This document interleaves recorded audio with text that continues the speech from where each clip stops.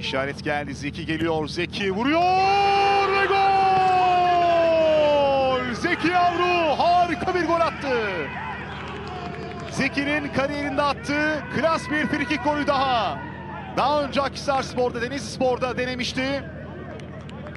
Uzaktan bu kez frikikten çok klas bir gol.